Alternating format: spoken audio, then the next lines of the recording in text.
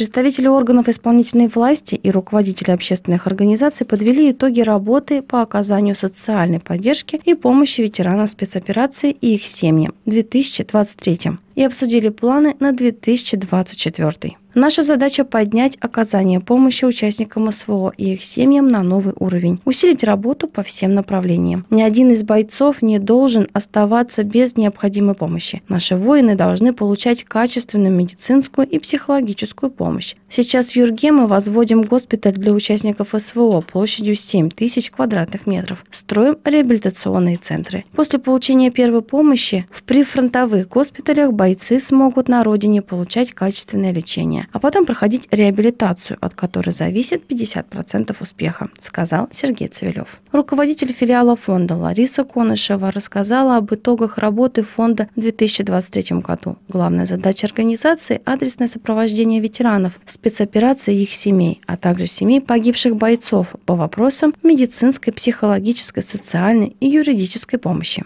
В каждом муниципалитете работают социальные координаторы. За 2023 год в Кузбасский филиал фонда поступило свыше 5300 обращений. Большинство из них касаются вопросов социальной поддержки, выплат, оформления удостоверений ветерана боевых действий и получения юридической помощи. Правительство Кузбасса и филиала фонда активно взаимодействуют в решении обращений, поступающих от ветеранов СВО и членов семей погибших ветеранов.